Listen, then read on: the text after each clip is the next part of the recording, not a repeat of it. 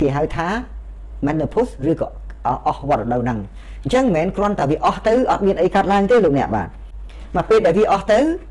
វាក៏ចាប់ផ្ដើមធ្វើឲ្យយើងមានអាការៈអីខ្លះកើតឡើងណោះយើងយើងគួរតែដឹងទាំងអស់គ្នាហ្នឹងណាបាទពេលអស់ទៅយើងមានអាការៈអីខ្លះកើតឡើងបាទបើយើងមករដូវវត្តរដូវរបស់យើងនៅកំពុងបន្តខ្ញុំអត់ទាន់និយាយទេអាហ្នឹងតែខ្ញុំនិយាយថ្ងៃនេះប្រធានបទថ្ងៃនេះគឺនិយាយអំពីពេលដែលយើងអស់រដូវទៅវានឹងមានអ្វីកើតឡើង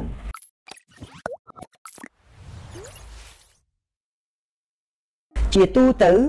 រដូវអ្នកដែលស្ត្រីដែលមានរដូវហ្នឹងហើយរហូតដល់ចប់វត្តរដូវដែលគេហៅថា menopause គឺចាប់ពីអាយុ40ទៅដល់អាយុ50ឆ្នាំមានអ្នកខ្លះអស់អស់អស់វត្តរដូវត្រឹមតែ40ទេហើយមានអ្នកខ្លះទៀតទៅដល់50បាទកន្លោះហ្នឹងប៉ុន្តែបើសិនជានៅក្នុងប្រទេសដែលគេអភិវឌ្ឍមនុស្សដែលគេមាន feeling ល្អដែលគេញ៉ាំអាហារគ្រប់គ្រាន់ដែលគេមិនសូវជាមាន stress តានតឹងអី វាអាចរហូតដល់51បាទអាចអាចអាយុនឹងទៅដល់51បានអស់ក៏មានដែរឬក៏អាចដល់55មកខ្ញុំធ្លាប់ជួបបាទស្ត្រីខ្មែរយើងមានអ្នកខ្លះគាត់ដល់55នៅតែមានវត្តរដូវដែរប៉ុន្តែចុងបញ្ចប់របស់គាត់នឹងវាមិនបានមកទៀងទាត់រៀងរាល់ខែទេអញ្ចឹងហើយខ្ញុំចង់ជម្រាបថាស្ត្រីដែលចាប់ផ្ដើមដល់អាយុកាល menopause ឬក៏អស់វត្តរដូវនេះពីអាយុ40ទៅដល់51ឆ្នាំបាទ 51ឆ្នាំហើយការអស់វត្តរដូវនេះទៀតសោតគឺវារៀបចំឡើងដោយធម្មជាតិបាទមនុស្សយើងក៏ធម្មជាតិដែរបាទយើងអត់មានទៅចាក់ថ្នាំយើងអត់មានទៅធ្វើអីទេគឺវាអាចវារៀបចំដោយខ្លួនឯងតែម្ដងបាទគ្រប់គ្នាត្រូវតែមានការបញ្ចប់វត្តរដូវរបស់យើងនៅពេលដែលយើងមានរដូវហូរហែរៀងរាល់ខែទៅដល់ហ្នឹងគឺវាត្រូវរៀបចំឲ្យយើងបញ្ចប់ហ្នឹងប៉ុន្តែសម្រាប់ស្ត្រីណានិយាយតែគ្រប់គ្នាមានមានបរោះមានរដូវដែរអត់មានទេបាទអញ្ចឹងកន្លែងហ្នឹងយើងទាំងអស់គ្នាគួរដឹងបាទ ហើយចាំមើលថានៅពេលណាដែលអស់វត្តរដូវនេះតើខ្លួនយើងចាប់ផ្ដើមប្រែប្រួលបែបម៉េចណាបើយើងធ្លាប់តែមកហ្នឹងអ្នកខ្លះថាអូពេលខ្ញុំអស់រដូវទៅស្រួលមែនតើព្រោះខ្ញុំអត់មានចាំបាច់ទ្របសម្លៃអនាម័យខ្ញុំអត់អីរំខានអីខ្ញុំចង់ដើរហើរទៅណាទេបាទវាវាវាមួយយ៉ាងម្នាក់បាទវាមួយយ៉ាងម្នាក់ក៏ប៉ុន្តែនៅពេលណាដែលយើងដល់វ័យមកនៅពុសគឺវ័យដែលយើងអស់វត្តរដូវនេះវាក៏ចាប់ផ្ដើមធ្វើឲ្យអាបញ្ហាសុខភាពរបស់យើង ចូលដំណាក់កាលមួយទៀតដូចយើងប្រឡងបាក់ដប់ជាប់ចូលទៅមហាវិទ្យាល័យអញ្ចឹងបាទអញ្ចឹងនៅពេលដែលយើងអស់អស់វត្តរដូវយើងយើងនឹងជួបជួបរឿងយ៉ាងម៉េចខ្លះណោះជួបរឿងយ៉ាងម៉េចខ្លះរឿងទី1គឺបញ្ហាពាក់ព័ន្ធទៅនឹងសុខភាពផ្លូវកាយបាទផ្លូវកាយរឿងទី2វានឹងប្រែប្រួលតាក់ទងទៅនឹងសុខភាពផ្លូវចិត្តរឿងទាំងពីរហ្នឹងគឺ វានឹងជួបបាទវានឹងជួបបើអ្នកមិនទាន់ដល់ដំណាក់កាលអស់វត្តរដូវទេលោកអ្នកស្ដាប់ទៅនឹងដឹងថាពេលដែលខ្ញុំឈានទៅដល់ហ្នឹងខ្ញុំនឹងជួបរឿងហ្នឹងបាទទៅជួបរឿងហ្នឹងហើយអ្នកដែលអស់ហើយក៏គាត់ធ្លាប់ដឹងថាអូពីមុនរឿងហ្នឹងដោយសារតែអញ្ចឹងតាអាហ្នឹងបានខ្ញុំលើកប្រធានបទនេះយកមកជម្រាបជូនណាជម្រាបជូននៅក្នុងរាត្រីនេះបាទហើយយើងចែករំលែកគ្នាទៅឲ្យដឹងព្រោះ ពេលខ្លះចាំចាប់លេខឲ្យទៅពីគ្រូហ្នឹងវាលោកអ្នកចំណាយពេលច្រើនណាចំណាយពេលយូរបាទតាំងពីរៀបចំពីផ្ទះទៅដល់កន្លែងអង្គុយចាប់លេខរងចាំលេខរៀងទៅរំបានចូលពីគ្រោះមកឃើញថាពិបាកអញ្ចឹងបើសិននៅពេលនេះលោកអ្នកគ្រាន់តែស្ដាប់បដាអឺញ៉ាំអីធ្វើអីបដាក៏បានឬក៏យើងអាចអង្គុយមើលក៏បានដែរអញ្ចឹងបាទមើលបានអញ្ចឹងឥឡូវនេះបញ្ហាដែលជួបគឺមាន2ទី1បញ្ហាសុខភាពផ្លូវកាយបញ្ហាសុខភាពផ្លូវចិត្ត វានឹងកើតមាននៅពេលណាដែលយើងចាប់ផ្ដើមដល់វ័យមួយ menopause ឬក៏វ័យមួយហៅថាវ័យអស់វត្តរដូវប្រចាំខែរបស់យើងបាទអញ្ចឹងយើងនឹងមានហើយអញ្ចឹងចាំមើលថាតើវាមានអីកើតឡើងនៅពេលដែលអស់ហ្នឹងខ្ញុំនឹងជម្រាបជូនណាបាទហើយជាទូទៅ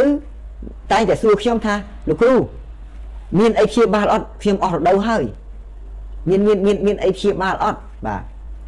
អាហ្នឹងព្យាបាលកើតអត់ឲ្យខ្ញុំមករដូវវិញមកឲ្យអីបាទ ខ្ញុំចង់ជម្រាបជូនថាយើងទៅយើងយើងត្រូវតែរៀនទទួលស្គាល់ខ្លួនយើងថាខ្លួនយើងគឺវារស់នៅក្នុងធម្មជាតិបាទអញ្ចឹងអ្វីអ្វីដែលរៀបចំឡើងដោយធម្មជាតិយើងអាចប្រឆាំងបាន យើងអាចប្រឆាំងធម្មជាតិបានក៏ប៉ុន្តែវាមិនស្រួលទេបាទវាមិនធ្វើយើងមានភាពងាយស្រួលទេអញ្ចឹងអឺបើយើងចង់ថាអីខ្ញុំអស់អស់រដូវខ្ញុំចង់ឲ្យមានរដូវមកវិញបាទ យើងអាចប្រើវិធីព្យាបាលដោយប្រើអរម៉ូនបានអរម៉ូនអីគេអរម៉ូនអេស្ត្រូជិននិងប្រូជេស្តេរ៉ូននឹងឯងបាទអញ្ចឹងយើងអាចលេបអាចចាក់អីទៅបាទ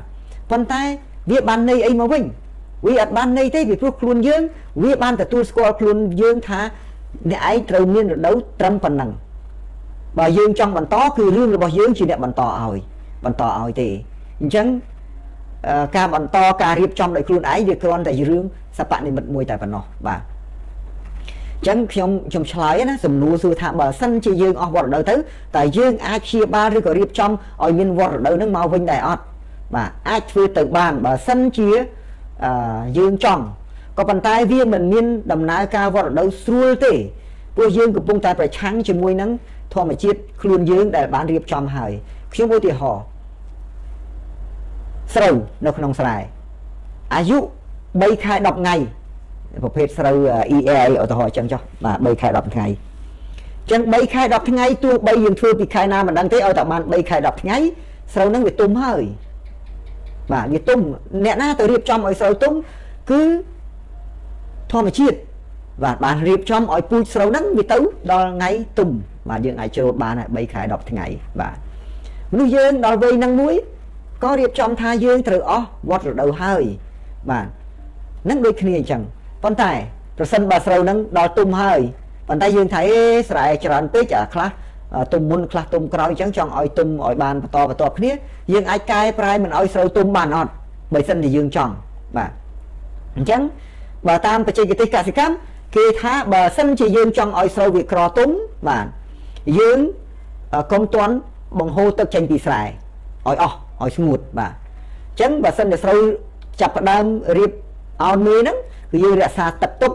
ហើយយើងអាចប្រើជីប្រភេទ nitrogen ប្រភេទ N ណាបាទពពួកយូរ៉េឲ្យបានច្រើនបន្តិចល្មមនៅក្នុងស្រែដើម្បីរក្សាកុំឲ្យស្រូវហ្នឹងវាទំលឿនបាទវានៅបៃតងបានយូរមនុស្សនៅពេលដែលអស់វត្តរដូវតែយើងប្រើ nitrogen ដូចគ្នាអត់ប្រើប្រើរ៉េបានអត់អត់បានទេប៉ុន្តែយើងក៏អាចរៀបចំឲ្យមានអឺ ហូម៉ូនដែលយើងអាចចាក់ឬក៏អាចលេបតាមវិធីព្យាបាលហ្នឹងបានដែរប៉ុន្តែវាអត់បានន័យប្រយោជន៍អីទេអញ្ចឹងណាបាទធ្វើទៅវាអាចមករដូវមកអីធម្មតាប៉ុន្តែវាមិនធម្មតាគាត់ថាវាអាចមានអញ្ចឹងទៅវាអត់អត់អត់ល្អសម្រាប់រាងកាយយើងអីប្រហែលនេះព្រោះរាងកាយយើងទទួលស្គាល់ថាវាត្រូវតែអស់ប៉ុណ្ណឹងឯងបាទអញ្ចឹងការសួរខ្ញុំថារបៀបព្យាបាលនេះគឺខ្ញុំបានជម្រាបអីថាបើយើងចង់អាចបន្តបានប៉ុន្តែមិនបានយូរទេគាត់ថាបានមួយរយៈខ្លីដែរ ប៉ុន្តែវាអត់មានប្រយោជន៍អីសម្រាប់យើងទៅបន្តឲ្យពិបាកទ្របសម្លៃឲ្យពិបាកអីទេហ្នឹងណាបាទហើយអឺអ្នកខ្លះទៀតក៏យើងអាចព្យាបាលពេលដែលយើងអស់វត្តរដូវហ្នឹងយើងអាចត្រៀមខ្លួនយើងកាលណាយើងដឹងមុនយើងត្រៀមខ្លួនយើងទប់ទល់ជាមួយអាបញ្ហាអស់ហ្នឹងហើយនៅពេលដែលអស់ទៅតើវាមានអីកើតឡើងវានឹងជួបរឿងបញ្ហាវិបត្តិផ្លូវចិត្តបញ្ហាវិបត្តិផ្លូវកាយវានឹងកើតឡើងសម្រាប់ស្ត្រីដែលគាត់អស់រដូវ អញ្ចឹងបញ្ហានេះបរោះជាស្វាមីឬក៏អ្នកនៅជាមួយគួរតែទទួលដឹងថាចាប់ពីគាត់មានបញ្ហាហ្នឹងទៅគឺគាត់ចាប់ផ្ដើមប្រែប្រួលអារម្មណ៍ផ្លូវកាយសំទោសអារម្មណ៍ផ្លូវចិត្តនិងសុខភាពផ្លូវកាយរបស់គាត់ហើយអញ្ចឹងយើងរៀនទទួលស្គាល់ទៅថាហេតុអីកុំអោយថាពីមុនមិនអញ្ចឹងពីមុនមិនអញ្ចឹងឥឡូវមិនបានអញ្ចឹងជាពិសេសគឺបរោះជាស្វាមីហ្នឹងឯងចំប្រពន្ធខ្ញុំឥឡូវ តាំងពីចាស់បន្តិចមកដូចជាមិនដូចមុនមិនដូចមុនតែគាត់ចេះតែចោតប្រកាន់អញ្ចឹងមិនមែនអញ្ចឹងទេណាពីព្រោះរឿងនេះវាវាមិនមែនដឹងតែគាត់ទេយើងត្រូវដឹងទាំងអស់គ្នាបាទយើងអូជំរាបសួរផងបាទជំរាបសួរម្ដងទៀតបាទសម្លាញ់បាទអ្នកមីងអីទាំងអស់គ្នាណាដែលបានទេសនាបាទខ្ញុំអត់បានមើលក្នុងនេះទេមើលមិនសូវឃើញបាទអញ្ចឹងជំរាបសួរទាំងអស់គ្នាម្ដងទៀតហើយជួយចែកចាយផងព័ត៌មានហ្នឹងអញ្ចឹងហើយទាំងអស់គ្នាត្រូវដឹងអញ្ចឹងឥឡូវនេះយើងមកមកមកឲ្យមកយើងបានដឹងថាតើវាអាចព្យាបាលបានអត់ព្យាបាលកើតប៉ុន្តែមិនមែនឲ្យមកវត្តរដូវដូចមុនបានទេគ្រាន់ថាវាអាចជួសជុលបានខ្លះខ្លះក្នុងរយៈពេលខ្លីមួយបាទមកឥឡូវយើងទៅដឹងវិញទៅដឹងថាតើវាមានអាការៈម៉េចណោះពេលដែលយើងអស់អស់រដូវហ្នឹងទៅបាទបាទអ្នកអ្នកដែលអ្នកដែលកំពុងតែទេសនាហ្នឹងមានអ្នកកំពុងតែជួបរឿងហ្នឹងដែរហើយតាមមើលបាទអញ្ចឹងអឺ បាទសូមជម្រាបសួរផងណាទាំងអស់គ្នាបាទ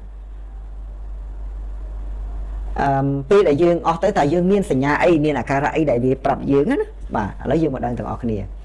នៅពេលដែលយើងចាប់ផ្ដើមអស់រដូវទៅតើវាធ្វើឲ្យយើងជួបនៅបញ្ហាបន្តបន្តបន្តបន្តនឹងស្អីគេខ្លះណោះបាទអញ្ចឹងបញ្ហាដែលធំជាងគេទៅលើរាងកាយរបស់យើង គឺវានឹងធ្វើឲ្យយើង មានបញ្ហា ទី1គឺរដូវចាប់ផ្ដើមវាមិនទាន់អស់ភ្លាមទេវាវាវា irregular វាអឺវាអត់អត់ទៀងបាទវាចាប់ផ្ដើមអត់ទៀងអត់ទៀងអត់ទៀងអត់ទៀងវាមិនមែនទៅដល់អស់ប៉ាត់ទេណាភាកច្រើនសម្រាប់ស្ត្រីគឺវាអត់ទៀងវាអត់ទៀងអត់ទៀងអត់ទៀងអត់ទៀងទៅអញ្ចឹងមកច្រើនមកតិចមកច្រើនមកតិចបាត់មកវិញបាត់មកវិញបាទអញ្ចឹងអាហ្នឹងទី1គឺវាមាន10 10អាការៈសំខាន់សំខាន់វាមានច្រើនជាងនោះខ្ញុំចង់ចង់ជម្រាបថាវាមាន10អាការៈសំខាន់សំខាន់ណាជួយកត់ចំណាំគ្នាទៅបាទដើម្បីទុកជាប្រយោជន៍ណាទី1គឺរដូវមកមិនទៀងពេលវាចិត្តអស់ហ្នឹងគឺវាដូចយើងបើករមណីទឹកជ្រោយជ្រោយខ្លាំងចិត្តទឹកចិត្តដាច់ជើងខ្លាំងខ្សោយខ្លាំងខ្សោយអញ្ចឹងបាទហ្នឹងរដូវវត្តរដូវរបស់យើងមកមិនទៀងណាបាទទី2មានអីគេទី2គឺទ្វាមាសរបស់ស្ត្រីខ្លួនឯង ចាប់ផ្ដើមមានភាពស្ងួតជាងមុនបាទណាកន្លែងហ្នឹងសំខាន់ណាបាទអឺទ្វាមាសរបស់ស្ត្រីចិត្តអស់រដូវគឺមានភាពស្ងួតជាងមុនជាទូទៅនៅទ្វាមាសរបស់ស្ត្រីគឺវាមានក្រពេញទឹកលំអិលរបស់វា បាទតែវារក្សាសំណើមនៅទ្វាមាសហ្នឹងអឺឲ្យមានសំណើមរហូតវាមិនដល់ហៀអីទេប៉ុន្តែ វាធ្វើឲ្យមានសំណើមបាទកន្លែងហ្នឹងដើម្បីវាថែទាំការកកិតវាថែទាំអឺឲ្យមាន ខៅខៅ friendly bacteria ល្អអាអី bacteria ល្អវាលូតលាស់នៅហ្នឹងបាទការពារកុំឲ្យវាមានក្លិនកុំឲ្យមានមេរោគអីចូលទៅវាយប្រហារអញ្ចឹងហើយនៅពេលដែលស្ត្រីអស់រដូវអាចំណុចទី2ដែលខ្ញុំរៀបរាប់នេះគឺវាធ្វើឲ្យស្ត្រីខ្លួនឯងអាចសម្គាល់ថាទ្វាមាសរបស់យើងនឹងចាប់ផ្ដើមអឺស្ងួតបាទមានភាពស្ងួតអញ្ចឹងហើយបើសិនជាយើង អត់ដឹងខ្លួនឯងផងហើយដៃគូយើងអត់ដឹងទៀតនៅពេលដែលយើងមានការរួមដំណេកបាទមានការរួមភេទនៅពេលដែលទ្វាមាសរបស់យើងវាស្ងួតវាចាប់ដើមធ្វើឲ្យយើងមានការកកិតដាច់រលាត់ហើយអឺរលាកคลายរោគកាហាយឈឺចាប់អីជាដើមទៅអាហ្នឹងយើងទាំងអស់គ្នាទៅកត់សម្គាល់ខ្លួនឯងហើយដៃគូក៏ដឹងដែរថាត្រូវតែដឹងទាំងអស់គ្នាបាទទាំងអស់គ្នាត្រូវតែដឹងទាំងប្តីទាំងប្រពន្ធណាបាទអញ្ចឹងហើយ ការដែលយើងនៅតែមិនដឹងទៀតហើយយើងនៅកាលណាមានអាការៈទ្វាមាសរបស់យើងស្ងួតវាក៏យើងនៅតែមានការរួមដំណេកវានឹងធ្វើឲ្យដៃគូរបស់យើងជាស្ត្រីនឹងជាពិសេសគឺស្ត្រីនឹងឯងគាត់ចាប់ផ្ដើមខ្លាចរអាអត់ចង់រួមភេទទៀតលែងមានអារម្មណ៍រួមភេទហ្នឹងណាបាទដោយសារតែអញ្ចឹងរួមរួមភេទទៅវាកកិតវាដោយសារតែស៊ីមានស្ងួតអញ្ចឹងហើយបើយើងដឹងទាំងអស់គ្នាយើងដោះស្រាយបញ្ហានឹងបាន បាទនៅគេមានតិចទៀតទៅខាងមុខខ្ញុំនឹងជម្រាបថាចុះបើវាអញ្ចឹងធ្វើម៉េចបានអាចរួមដំណេកបានណាកុំឲ្យវាដាច់វារលាត់អញ្ចឹងមិនខ្ញុំថាប្រធានបទនេះវាមានសារៈសំខាន់ដែលយកមកជម្រាបជូនហ្នឹងគឺឲ្យមនុស្សបានដឹងហើយបានត្រៀមខ្លួន តែអ្នកទៅផុតហើយក៏មានន័យថាវាហួសអាហ្នឹងហើយក៏ហួសទៅមិនដែរអ្នកដែលមិនតន់ឬក៏អ្នកដែលកំពុងស្ថិតនៅក្នុងដំណាក់កាលហ្នឹងនិយាយទៅដឹងមុនបាទទៅទៅធ្វើម៉េចណាបាទ នេះជារឿងរឿងល្អតាបាទខ្ញុំជម្រាបជូនឲ្យដឹងណាកុំឲ្យថាអូយករឿងអាភាចឹងមកបាទហើយដំណាក់កាលទី3បាទអញ្ចឹងខ្ញុំនិយាយជម្រាបជូន10 10ចំណុចសំខាន់សំខាន់ណាបាទអញ្ចឹងអាការៈទី3វាធ្វើឲ្យម៉េចភាសាអង់គ្លេសគេហៅ hot flush បាទ hot flush គឺវាធ្វើឲ្យខ្លួនយើងនេះមានអារម្មណ៍ថាក្តៅហ្មងបាទក្តៅឡើងកុហលកាហាយខ្លួនបាទវាដូចជាមិនគ្រុនទេប៉ុន្តែខ្លួនយើងក្តៅដូចម្ទេសរោល ដូចជាស្អីវាហៅលេះឡាស់បាទអញ្ចឹងវាចាប់ផ្ដើមហ្នឹងសួរថាហេតុអីបានវាកើតអាហ្នឹងឡើងពីព្រោះតែអរម៉ូនអេស្ត្រូជិនអរម៉ូននិងប្រូជេស្តេរ៉ុនអរម៉ូនវាឈប់ដំណើរការវាឈប់ដំណើរការបាទ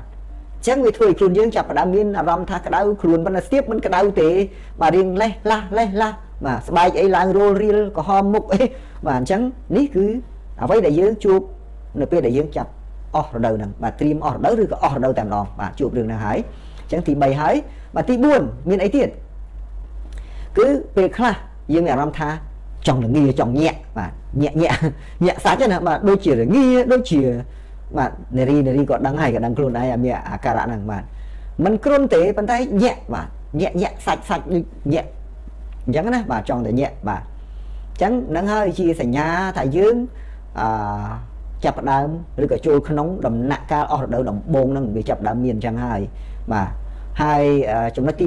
5គឺវាធ្វើឲ្យយើងដឹងបាននៅពេលយប់គឺវាបែកញើសបាទយប់ឡើងបែកញើសសើមសើមស្អាតស្អាតបែកញើសប៉ុន្តែអាការៈបែកញើសនេះវាមានជំងឺផ្សេងទៀតដូចជារបេងដែរបើសិនជាយប់ឡើងយើងមានមានការបែកញើសស្អាតៗហ្នឹងហើយក្អកអាហ្នឹងយើងទៅទៅពេទ្យលើសពី21ថ្ងៃប៉ុន្តែអាសញ្ញានេះក៏វាច្រឡំជាមួយនឹងស្ត្រីនៅពេលដែលគាត់អស់រដូវដែរ គាត់ចាប់ផ្ដើមអស់រដូវយប់ឡើងគាត់ចាប់ផ្ដើមមានអារម្មណ៍ក្តៅកាហាយរោរៀលខ្លួនគាត់ហើយគាត់បែកញើសស្អាតស្អាតហ្នឹងហ្នឹងក៏ប្រាប់យើងឲ្យដឹងទៅថាយើងអាហ្នឹងគឺអាការៈដែលយើងអស់រដូវទេបាទហើយទី6គឺវាធ្វើឲ្យយើងមានបញ្ហាដំណេកបាទស្ត្រីដល់ពេលដែលអស់រដូវដំបូងចាប់ផ្ដើមប្រែប្រួលហើយបាទធ្លាប់គេងបាន6ម៉ោង7ម៉ោងប៉ុន្តែចាប់ផ្ដើមអស់រដូវដំបូងលេះឡាស់គេ flash hot flash គឺធ្វើឲ្យគាត់ មានបញ្ហាដំណេកអាចគេងមិនសូវលក់បានសម្គាល់មើលខ្លួនឯងមើលអញ្ចឹងមែនអត់បាទប៉ុន្តែមិនមែនទាំងអស់ទេណាបាទ100អាចមាន4 5ដែរដែលគាត់អាចគេងនៅគេងបានតែភាគច្រើនគឺជួបបញ្ហាដំណេកនឹងហើយបាទហើយចាំមើលទៅមុខទៀតយើងទៅដោះស្រាយបែបម៉េចបាទហើយទី7បាទអាការៈទី7ដែលយើងអាចកំណត់ចំណាំអាការៈធំធំគឺវាធ្វើឲ្យអារម្មណ៍របស់យើងនេះផ្លាស់ប្ដូរបាទ can mood change បាទ mood change គឺអារម្មណ៍របស់យើងហ្នឹងគឺវាផ្លាស់ប្ដូរផ្លាស់ប្ដូរបែបម៉េចមួម៉ៅច្រើនឆេវឆាវច្រើនប្រកាន់ច្រើនអត់ចង់នៅកន្លែងកូនក្មេងច្រើនអាហ្នឹងនឹងហើយគឺអារម្មណ៍ផ្លាស់ប្ដូរដោយសារតែអរម៉ូនអត់ឈប់ដំណើរការបាទអរម៉ូនអរម៉ូនហូម៉ូន estrogen hormone និង progesterone hormone វាឈប់ដំណើរការអញ្ចឹងធ្វើឲ្យអា mood របស់គាត់នេះវា change អារម្មណ៍របស់គាត់នេះវា change បាទវាផ្លាស់ប្ដូរអញ្ចឹងណាបាទទី8វាធ្វើឲ្យគីឡូរបស់គាត់ណាទម្ងន់ណាឡើងណាមិនអញ្ចឹងតែចង់ស្លីមសឹងអីហើយស្រាប់ដល់វ័យអស់រដូវគីឡូចាប់ដាំឡើងសឿនសឿនហ្មងបងនៅបាត់ដំបងតែតែទេមកជែកមើលខ្ញុំតែមិនចឹងលោកគ្រូមិនចឹងនេះហើយដំណើរការរបស់បង នៅពេលដែលបងអស់វត្តរដូវគឺគីឡូរបស់បងក៏ចាប់ផ្ដើម កើនដែរហើយសួរថាមកពីអីខ្ញុំនឹងជម្រាបជូនណាភាកច្រើនណាស់មិនមែនទាំងអស់គ្នាឲ្យទៅអស់វត្តរដូវសុទ្ធតែគីឡូឡើងទេប៉ុន្តែវាទៅតែឡើងជាមុនបាទមកពីអីវាមកពីដំណើរការមួយគេហៅថា metabolism metabolism វា slow ដោយសារតែមុខងារអរម៉ូនរបស់ក្នុងខ្លួនយើងហ្នឹងវាអត់ដំណើរការបានគ្រប់ទាំងអស់ដូចមុនមានន័យថា metabolism គឺជាការបំបែកយកសារជាតិចិញ្ចឹមទាំងឡាយអឺដែលយើងញ៉ាំទៅហ្នឹងដោយសារថ្លើមហើយថ្លើមធ្វើការបំបែកក៏បានដោយសារតែអឺហូម៉ូនមុខងាររបស់ថ្លើមហ្នឹងដែលវាទៅធ្វើឲ្យមានការបំបែកអាសារជាតិចិញ្ចឹមទាំងអស់ហ្នឹងដើម្បីឲ្យរាងកាយយើងហ្នឹងប្រើប្រាស់ខ្ញុំឧទាហរណ៍ពេលយើងញ៉ាំឆ្អែតចូលទៅក្នុងពោះយើងភ្លាមមានអ្នកឆ្ងល់ទេថាពេលដែលយើងញ៉ាំឆ្អែតហើយហេតុអីបានជាយើងអឺ 15នាទីក្រោយ យើងតែងតែចង់មកងុយគេងបាទយើងញ៉ាំឆ្អែតគ្រប់គ្នាភាកច្រើនណាបើអត់ធ្វើអីទេភ្នែកចេះតែចង់ធ្លាក់មកគឺថាហ្នឹងយើងញ៉ាំអាហារមានជាតិងុយគេងឬក៏មកពីអីអញ្ចឹងវាតាក់ទងរឿងហ្នឹងបាទខ្ញុំចង់ជម្រាបហ្នឹងណាបាទនៅពេលដែលយើងញ៉ាំអញ្ចឹងទៅឆ្អែតទៅក្នុងកាពះយើងហ្នឹងពេញមានអរម៉ូនមួយដែលវាបញ្ចេញមកហ្នឹង ចឹងបានវាតាក់ទងនឹងដំណើរការអរម៉ូនបាទបើសិននិយាយពីរថយន្តវាជាដំណើរការរបស់ប្រព័ន្ធភ្លើងបាទនិយាយចឹងទៅបាទអញ្ចឹងអរម៉ូនមួយដែលមានឈ្មោះថា gastrin hormone gastrin hormone នេះវាចង់ឲ្យយើងគេងឲ្យយើងញ៉ាំបាយឆ្អែតឲ្យធ្វើអីឆ្អែតហើយហ្នឹងញ៉ាំឆ្អែតហើយហ្នឹងចង់ឲ្យយើងគេងហ្នឹងដើម្បីអីទុកឱកាសឲ្យអាកាពះហ្នឹងរំលាយអាហារឲ្យវាបានម៉ត់ល្អដើម្បីបញ្ជូនចូលទៅក្នុងពោះវៀនតូចរបស់យើងបាទចឹងហើយបានវាបញ្ចេញហូម៉ូនមួយ ឈ្មោះថា gastrin hormone ឲ្យយើងងងុយគេងបាទ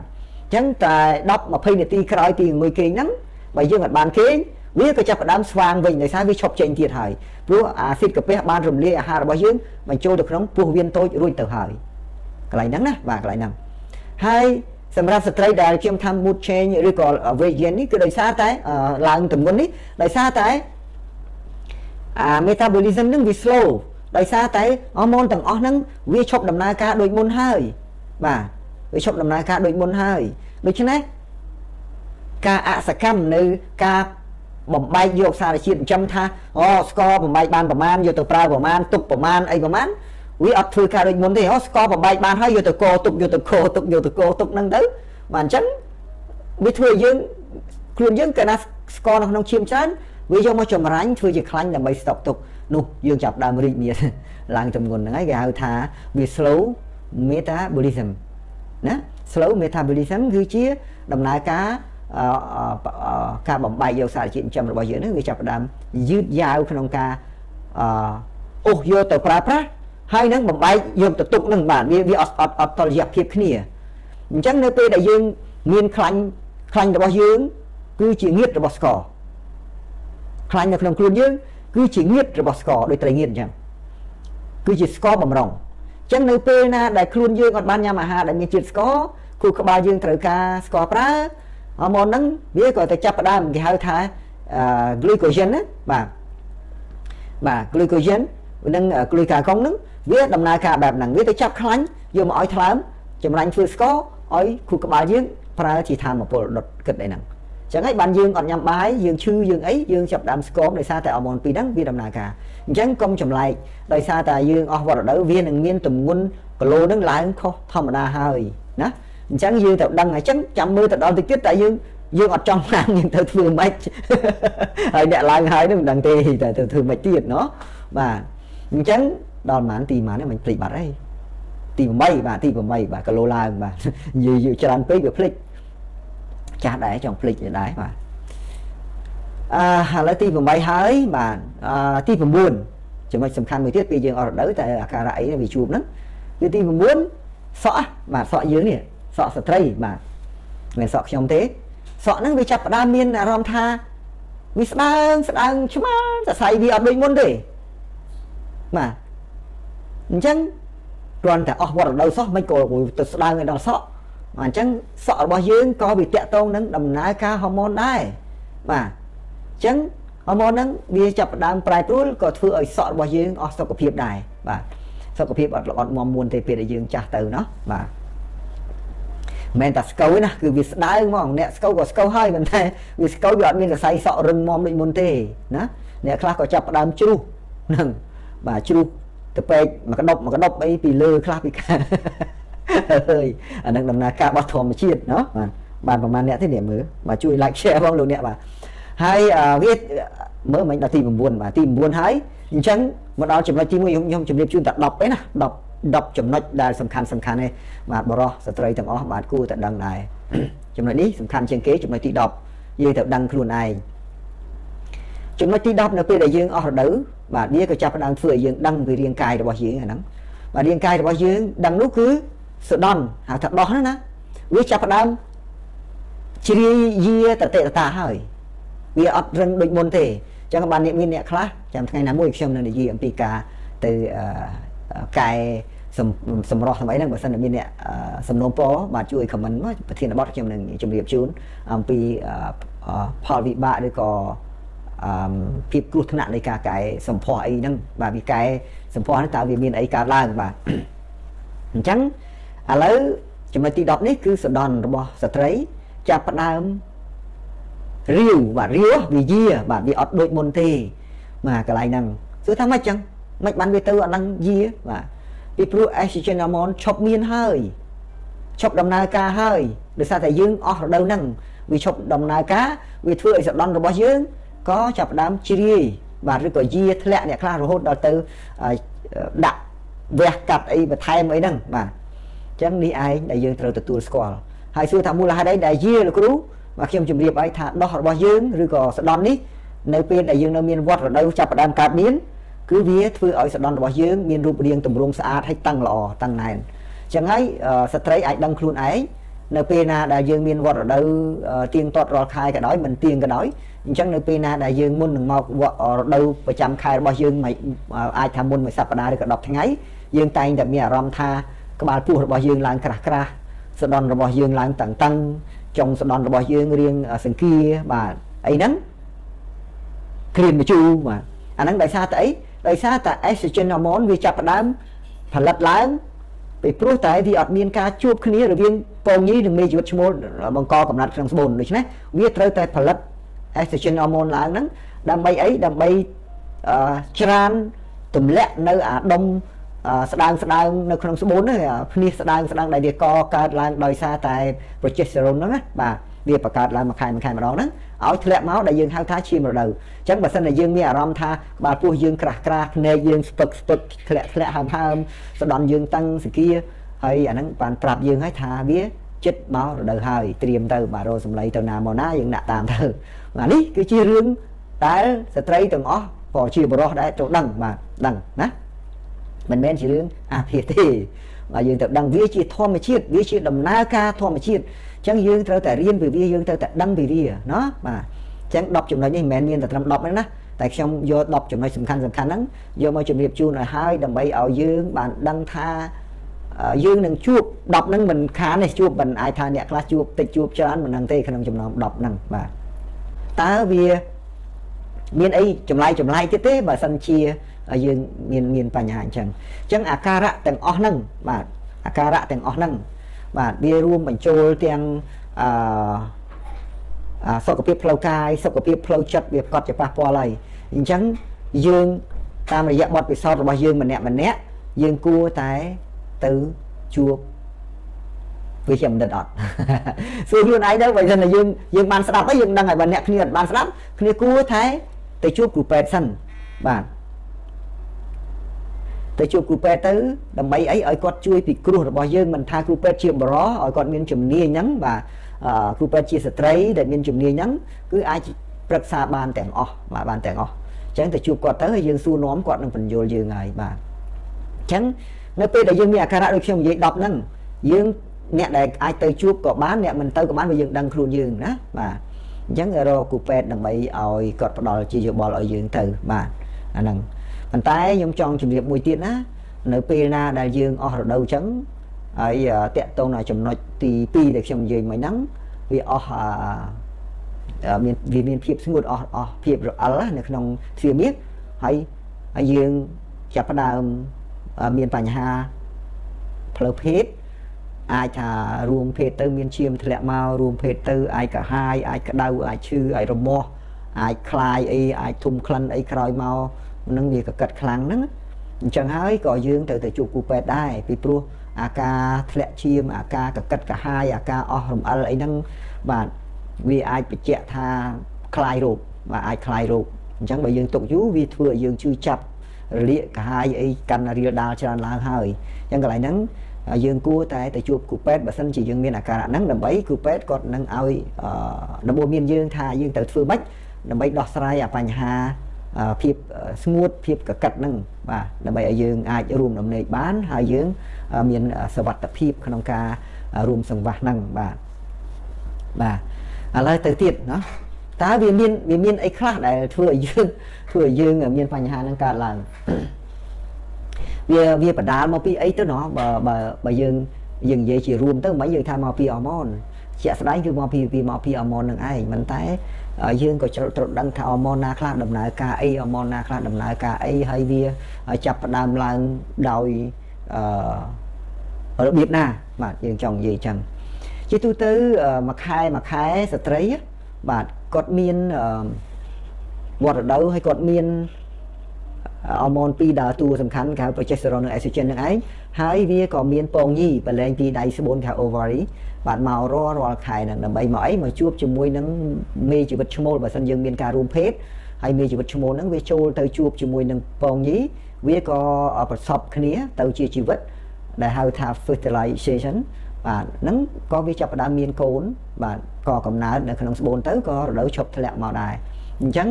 នឹងដំណើរការវាបែបហ្នឹងអញ្ចឹងហើយបានខ្ញុំចង់និយាយថា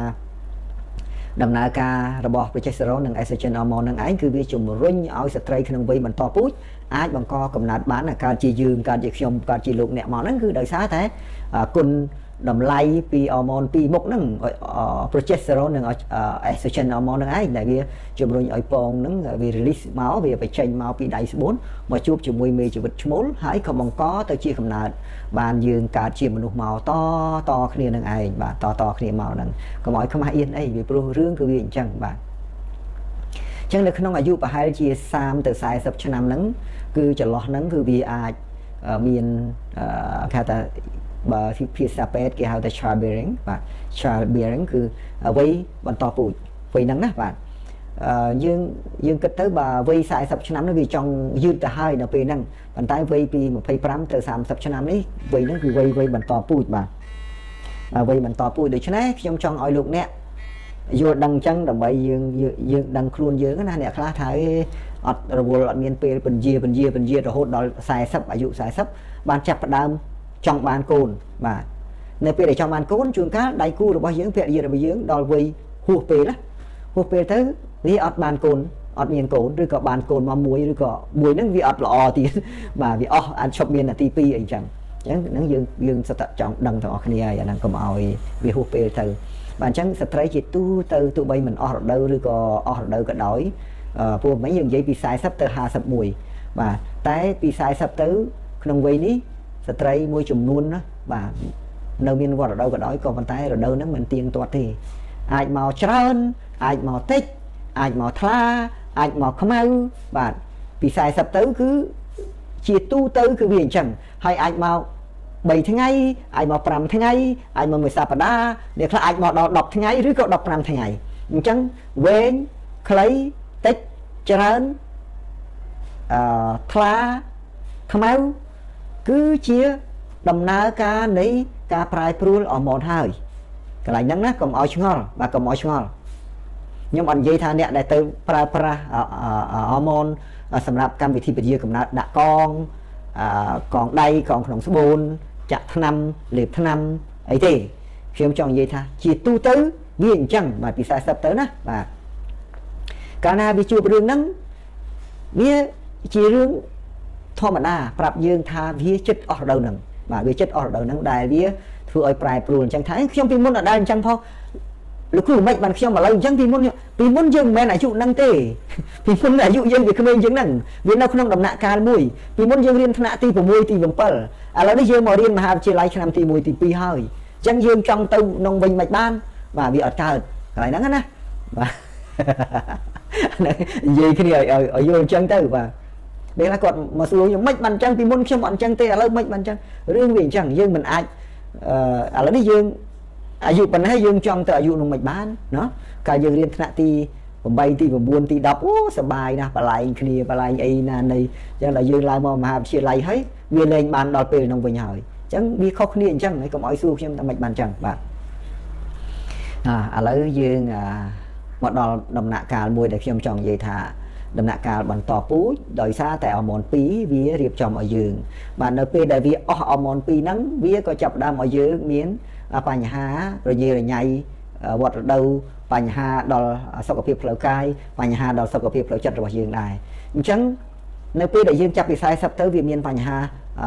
ប្រាប់យើងឲ្យដឹងហើយត្រៀមទៅត្រៀមថាយើងនឹងជួបរឿងអស់រដូវហ្នឹងក៏ប៉ុន្តែមិនមែនទាំងអស់គ្នាទេបាទនៅក្នុងហ្នឹងវាមានកុំតន់ខលបាទ ខ្ញុំជាប់ live អឺក្នុងហ្នឹងក៏វាមានដំណើរការខ្លះដែរវាវាចង់និយាយថាមានរឿងខ្លះដែរមិនមែនថាទាំងអស់ទេ បាទស្ត្រីខ្លះទៀតគាត់មានបញ្ហាអញ្ចឹងដោយសារតែគាត់មានការវះកាត់ណាការវះកាត់អឺដៃស្បូនការវះកាត់សបុកពងការវះកាត់មហារីកដុំមហារីកគាត់ប្រើគីមីសាស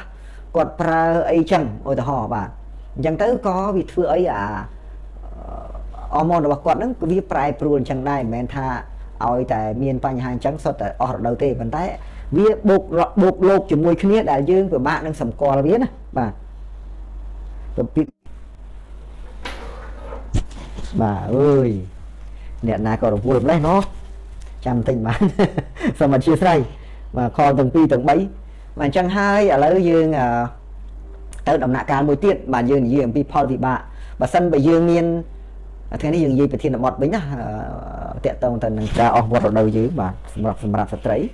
វាមានបញ្ហាផ្លូវកាយផ្លូវចិត្តហើយយើងបានដឹងហើយអរម៉ូនប្រែប្រួលយ៉ាងម៉េចពីមុនមកឥឡូវយើងមកដល់ផលវិបាករបស់វាវិញថាបើយើងអស់រដូវចឹងវត្តរដូវចឹងហើយអ្នកទាំងអស់គ្នាសុទ្ធតែត្រៀមអស់ឬក៏អស់ហើយកំពុងអស់ចឹងតើវាមានអីកើតឡើងឥឡូវនេះខ្ញុំប្រាប់ពីផលវិបាកថាវានឹងកើតមានអឺ ដំណាក់កាលមួយហ្នឹងគឺវាជួបហើយគ្រប់គ្នាបាទបើសិនជាយើងអស់រដូវអញ្ចឹងយើងនឹងត្រៀមខ្លួនឯងជាស្រេចទៅឲ្យដឹងថាយើងនឹងកើតជំងឺបេះដូងហើយនឹងសរសៃឈាមបាទយើងអស់អស់មនឈប់លូតលាស់គឺបេះដូងរបស់យើងនិងសរសៃឈាមរបស់យើងត្រៀមកើតជំងឺអ្នកណាមិនទាន់កើតក៏វាអាចដែរប៉ុន្តែភាគច្រើនគឺយើងត្រៀមកើតជំងឺបេះដូងយើងត្រៀមកើតជំងឺសរសៃឈាមដែលពេលខ្លះយើងឃើញរោគវិនិច្ឆ័យថាអូ បេះដូងប្រះបិទមិនចិត្តអូសរសៃឈាមឡើងរវីមរវីមពេញដៃពេញជើងបាទជាពិសេសគឺជើងឡើងខ្មៅខ្មៅរវីរមូលឈឺចាប់ប៉ោងឬក៏យើងមានជំងឺឡើងសម្ពាធឈាមទាំងនេះសុទ្ធតែជាផលវិបាកនៃការអស់វត្តរដូវរបស់យើងនឹងឯងបាទអញ្ចឹងវាជួបរឿងហ្នឹងហើយហើយរឿងមួយទៀតដែលយើងត្រូវដឹងគឺស្ពោតឆ្អឹងហើយនឹងពុកឆ្អឹង បាទជំងឺបេះដូងជំងឺសរសៃឈាមមកស្ពោតឆ្អឹងនិងពុកឆ្អឹងទៀតប៉ុន្តែមិនមែនទាំងអស់គ្នាសុទ្ធតែអញ្ចឹងទេណាបាទអញ្ចឹងយើងត្រូវត្រៀមដឹងថាយើងនឹងជួបរឿងហ្នឹងបាទស្ពោតឆ្អឹងនិងពុកឆ្អឹងនេះហើយដោយសារបានវាពុកឆ្អឹងស្ត្រីនៅពេលណាដែលយើងបញ្ឈប់ដំណើរការនៃអរម៉ូនទាំងអស់អានោះអាអាពាក្យមួយដែលខ្ញុំនិយាយពី lower បាទ lower metabolism អា lower metabolism ហ្នឹងគឺអាគេហៅថាការធ្វើការបំបែក សារជាតិចិញ្ចឹមហ្នឹងនៅក្នុងថ្លើមយើងហ្នឹងគឺវាវាយឺតឬក៏វាខូចមុខងារដូច្នេះការបំបែកយកសារជាតិ calcium magnesium អីទាំងអស់វាវាខ្សោយចឹងទៅឆ្អឹងយើងវាត្រូវការសារជាតិទាំងអស់ហ្នឹងវាត្រូវការ phosphor ត្រូវការ magnesium ត្រូវការ calcium អីទាំងអស់ហ្នឹង calcium ហ្នឹងគឺសំខាន់ជាងគេអញ្ចឹងនៅពេលដែលវាអស់អស់រដូវហូម៉ូនដំឈប់ដំណើរការអាគេ lower metabolism អញ្ចឹងវាធ្វើឲ្យ calcium magnesium phosphor phosphorus បាទវាគេហៅថាវា deficiency អញ្ចឹងឆ្អឹងវាចាប់អត់បាន នៅពេលដែលវាអត់មានអីប្រើឆ្អឹងយើងចាប់ផ្ដើមខូចមកងារវិញវាស្ដើងវាស្រាលវាស្ពោតវាពុកហើយវាបាក់តែម្ដងបាទហើយវាបាក់តែម្ដងយើងឃើញទៅវត្តជាជាទូទៅយើងទៅវត្តទៅពេលបនទៀនម្ដងម្ដងយើងឃើញយាយយាយក៏ដៃគាត់នេះបាក់ បាក់បាក់វាគាត់ច្រត់អីក៏ថាចត់តែបន្តិចសោះបាក់នោះហើយដោយសារយើងអត់បានដឹងពោះឆ្អឹងវាពុកអត់ដូចឈើយើងពុកដែលយើងមើលឃើញណាព្រោះស្បែករុំចិត្តយើងអត់ដឹងទេអញ្ចឹងកន្លែងហ្នឹងយើងត្រូវដឹងថាបើសិនតែផលវិបាកនៃការអស់វត្តរដូវទៅវាធ្វើឲ្យយើងមានបញ្ហាពុកឆ្អឹងហើយដល់ពេលពុកឆ្អឹងវាធ្វើឲ្យយើងបាក់ឆ្អឹងហើយអាចពិការបើបាក់បើពុកឆ្អឹងខ្នងវាធ្វើឲ្យយើងពិការអង្គុយអត់ត្រង់ឬក៏យើងស្ពឹកជើងស្រាញជើងបត់ជើងអត់ចេញអីហ្នឹងយើងខ្វះយ៉ាងអីហ្នឹងពិបាកណាស់ បាទអញ្ចឹងអាហ្នឹងសិតតែផលវិបាកនៃការពុកឆ្អឹងហើយពុកឆ្អឹងដែលបានមកពីអស់វត្តរដូវនឹងឯងអាហ្នឹងណាបាទហើយមួយទៀតការបន្ទោបងទឹកនោមគេហៅថានោមល្មងទៅបាទពេលដែលយើងនោមហ្នឹងវាអត់ដូចមុនទេ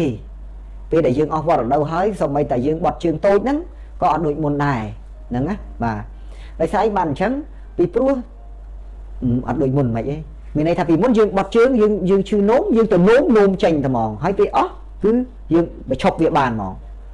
ប៉ុន្តែនៅពេលដែលយើងអស់វត្តរដូវហើយគឺអត់ដូចអញ្ចឹងទៀតទេវាប្រែប្រួលដោយសារតែកោសិកាអឺសាច់ដុំរបស់យើងនៅក្នុងបង្ហួរនោមហ្នឹងណាបាទបង្ហួរនោមស្ត្រីវាខ្លីផងអញ្ចឹងវាឈប់មានភាពយឺតរបស់វា វាដូចកស៊ូចកេះខោឬដូចកស៊ូកងអីដែលវាឈប់ឈប់មានភាពយឺតណាវាយឺតដែរប៉ុន្តែវាយឺតខ្សោយវាខ្ជិបអត់ចិត្តបាទវាខ្ជិបអត់ចិត្តមិនគ្រាន់តែសើចក៏ហ៊ានោមដែរគ្រាន់តែក្អកក៏ហ៊ានោមដែរហ្នឹងប្រឹងខ្លាំងអីលើកក៏ហ៊ានោមដែរដោយសារអីដោយសារតែសាច់ដុំខ្ជិបបាទនៅក្នុងបង្ហួរនោមហ្នឹងវាយាវាឈប់មានគេហៅឈប់មានភាពគេហៅភាសា អង់គ្លេសហៅ elastic បាទ elastic នេះគឺវាយឺតបាទជប់មានភាពយឺតដែរដូចកស៊ូងាប់ណាអញ្ចឹងវាខ្ជិបអត់ចិត្តក៏វាធ្វើឲ្យយើងសាយក៏នោមក្អកក៏នោមលើកអីក៏ប្រឹងក៏នោមបាទនោមសាមរហូតហ្នឹងណាបាទអញ្ចឹងនេះគឺជា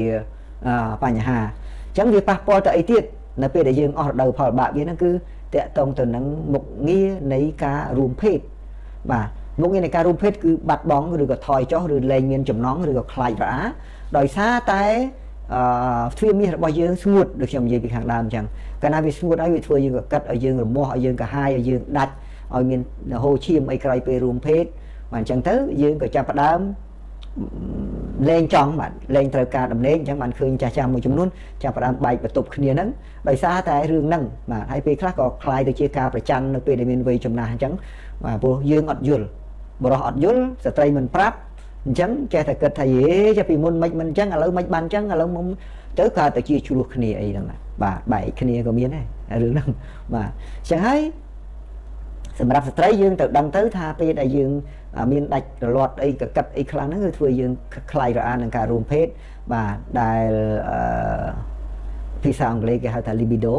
libido ហ្នឹងចង់និយាយថា កាលណាយើងអស់វត្តរដូវយើងជួប libido នឹងឯងបាទវាអត់មានចំណងរួមភេទទេដោយសារតែខ្លាយរអាកកាត់ដាច់ហ្នឹងវាអត់មានសំណើមដូចមុនណាអត់មានរំអិលដូចមុនបាទអញ្ចឹងនេះគឺជាបញ្ហាមួយដែលបងប្អូនយើងគួរចាប់អារម្មណ៍ឡើងវិញបាទហើយអឺនិយាយដល់ណាដល់ណីទេនិយាយយូរដូចមិនហើយឥឡូវយើងនិយាយអំពីឡើងទម្ងន់មិញបាទឡើងទម្ងន់អញ្ចឹងកាលណាយើងអស់រដូវយើងឡើងទម្ងន់ហើយដោយសារ slow metabolism អញ្ចឹងកាលណាវាធ្វើការបំបែកដោយសារអរម៉ូនយើងថយដំណើរការមុខងារបំបែកមិនបានគ្រប់គ្រាន់បាទអញ្ចឹងវាធ្វើយើងឡើងទម្ងន់អញ្ចឹងបើសិនជាយើងអឺឡើងទម្ងន់ហើយយើងអត់ចង់បានឡើងទម្ងន់ឬយើងមិនចង់ឡើងទម្ងន់តែយើងទៅធ្វើម៉េចណោះយើងទៅធ្វើម៉េចអញ្ចឹងបើសិនជាយើងដល់វ័យហ្នឹងបើអ្នកដែលគាត់ចង់ថែទាំរៀងណាឲ្យនៅ slim បានយូរគាត់ត្រូវញ៉ាំអាហារតិចបំផុតបាទនៅពេលល្ងាចបាទ ញ៉ាំអាហារតិចបំផុតនៅពេលល្ងាចជាពិសេសគឺអាហារដែលបានមកពីពពួក carbohydrate ឬក៏អាហារដែលបានមកពីពពួក energy បាទ drink អាពពួកទឹកពពួកបង្អែមពពួកផ្លែឈើផ្អែមពពួកស្ករពពួកភេសជ្ជៈផ្អែមឬក៏អាហារដែលបានមកពីម្សៅនំប៉័ងបាយកាទៀវបើអីហ្នឹងទាំងអស់ហ្នឹងបាទយើងញ៉ាំតិចតិចនៅពេលល្ងាចព្រោះយើងអត់បានប្រើ energy អស់ច្រើនអញ្ចឹងវាធ្វើឲ្យសល់ស្ករវាបំលែងធ្វើខ្លាញ់ធ្វើឲ្យយើងធាត់បានណា បាទអញ្ចឹងហើយមួយទៀតគឺសូមឲ្យដើម្បីកុំឲ្យវាធាត់យើងក៏ត្រូវទៅហាត់ប្រាណឲ្យបានទៀងទាត់ល្អណាវ័យហ្នឹងគឺត្រូវហាត់ប្រាណដើម្បីឲ្យសរសៃឈាមយើងវាមានចលនាឲ្យបេះដូងយើងមានចលនាកុំឲ្យវាខូចបេះដូងនិងសរសៃឈាមហើយវាប៉ុន្តែហាត់ប្រាណត្រូវមានការពិគ្រោះដែរណាមិនមែនចេះតែហាត់ប្រាណបានទាំងអស់ទេណាបាទហើយយើងពិគ្រោះហ្នឹងមិនបើយើងឈឺសន្លាក់វ័យហ្នឹងយើងឈឺសន្លាក់យើងហាត់ប្រាណបែបម៉េចយើងឡើងសពាតឈាមជំងឺបេះដូងយើងហាត់ប្រាណបែបម៉េច បាទអញ្ចឹងយើងពុកឆ្អឹងយើងហាត់ប្រាណបែបម៉េចអញ្ចឹងយើងសតតែគីឡូធ្ងន់យើងហាត់ប្រាណបែបម៉េចអញ្ចឹងយើងមានអ្នកប្រឹក្សាទៀតបើអត់អ្នកណាទេទូរស័ព្ទមកខ្ញុំនៅក្នុង page ចរណៃ healthcare គឺមានលេខខ្ញុំនៅទីនោះបាទអញ្ចឹងទូរស័ព្ទមកចង់ពិគ្រោះមិនចាំបាច់ទៅកន្លែងណាទេទេមកភ្លាមខ្ញុំនឹងផ្ដល់ថាលោកគ្រូខ្ញុំមានជំងឺសន្លាក់ខ្ញុំចង់ហាត់ប្រាណធ្វើម៉េចខ្ញុំនឹងជម្រាបថាហាត់ប្រាណបែបម៉េចដើម្បីកុំឲ្យប៉ះពាល់ទៅលើសន្លាក់ឧទាហរណ៍ទេណាបាទអញ្ចឹងនេះគឺជាដំណើរមួយដែលទាំងអស់គ្នា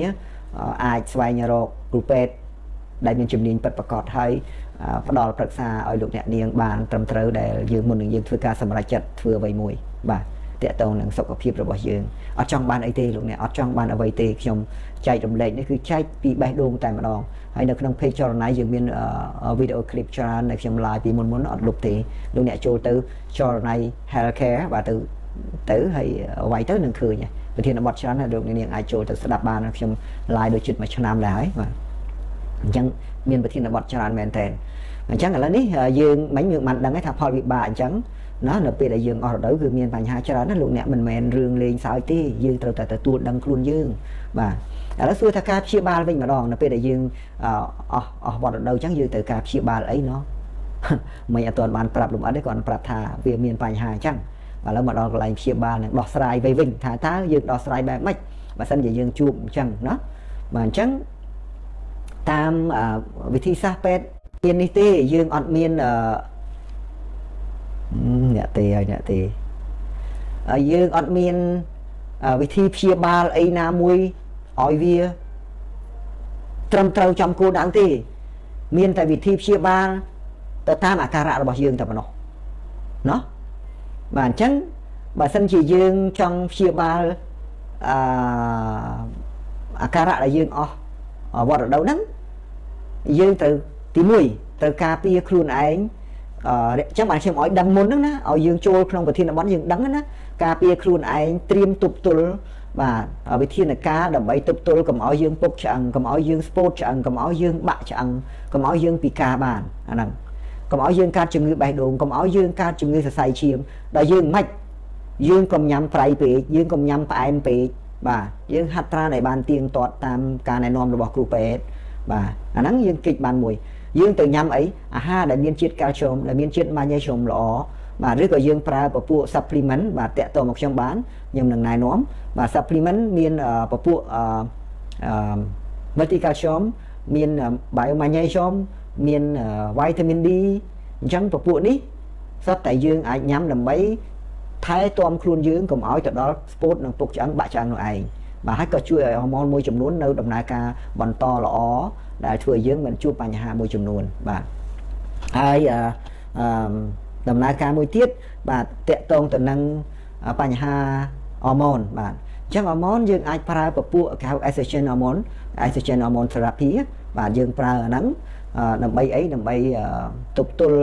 បញ្ហាមួយចំនួនឲ្យយើងកុំឲ្យវាកាហាយកុហលរោលរៀលពេលយើងបាក់ឈប់វាភ្លាមទៅដូចឡានយើងចាប់ប្រាំងភ្លាមវានឹងទៅចលោតតតងអញ្ចឹងអញ្ចឹងយើងកុំឲ្យនេះយើងប្រើវាក្នុងមួយរយៈពេលខ្លីណាមួយដើម្បីឲ្យខ្លួនយើងវាដឹងទៅបាទកុំឲ្យវាពិបាកទ្រាំបាទអញ្ចឹងណាបាទអញ្ចឹងយើងប្រើថ្នាំគេហៅថា estrogen hormone therapy បាទអាហ្នឹងយើងប្រើពពួក estrogen ហ្នឹងឯង បាទតាមរយៈការចាក់ឬញ៉ាំបាទហើយមួយទៀតបើសិនជាទ្វាមាសរបស់យើងនេះដល់កន្លែងព្យាបាលរឿងសំខាន់លោកអ្នកបាទបើសិនជាទ្វាមាសរបស់ស្ត្រីវ័យហ្នឹងគាត់អឺស្ងួតដូចខ្ញុំនិយាយមកអញ្ចឹងហើយអញ្ចឹងវាប៉ះពាល់ដល់សុភមង្គលគ្រួសារអាចបកចោតប្រកាន់គ្នាអាចអីហ្នឹងបែកក្រែបែកបន្ទប់គ្នាជាមួយដៃគូរបស់គាត់តាំងពីក្មេងមកហើយអត់យល់អត់នេះចោតប្រកាន់គ្នាអញ្ចឹងហើយដើម្បីដោះស្រាយបញ្ហាហ្នឹងយើងអាចប្រើ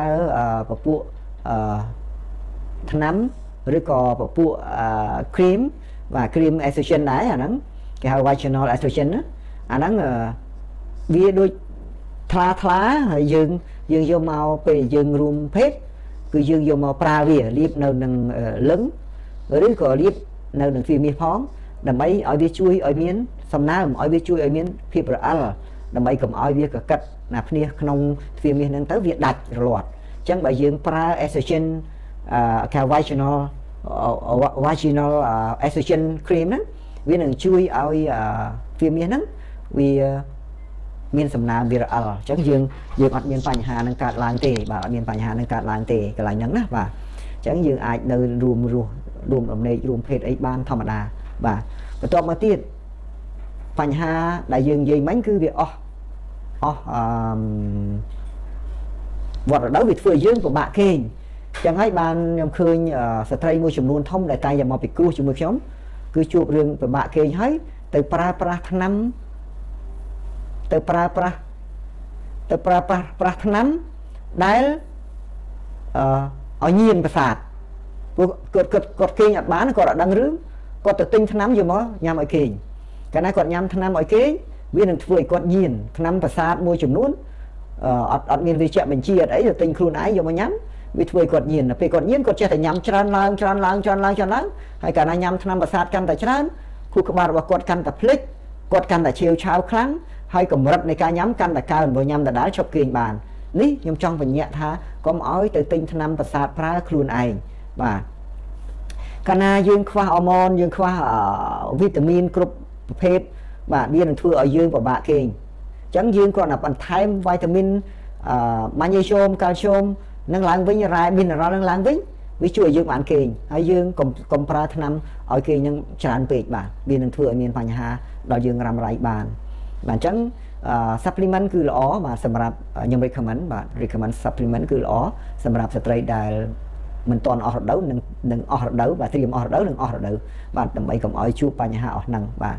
ហើយយើងឧស្សាហ៍ទៅហាត់ប្រាណពេលព្រលឹមហាលថ្ងៃបានខ្លះដើម្បីឲ្យស្បែករបស់យើងវាទទួលបាននូវ vitamin D ដែលវាជួយឲ្យស្បែកយើងកុំឲ្យចាប់ជ្រីវជ្រួញផងហើយវាក៏ជួយឲ្យឆ្អឹងយើងទទួលបាន vitamin D នេះវាបានមកពីពន្លឺព្រះអាទិត្យល្អដែលធ្វើឲ្យឆ្អឹងយើងរឹងមាំមិនស្ពោតមិនពុកហើយមិនបាក់បាទនេះគ្រាន់តែការចែករំលែកបាទ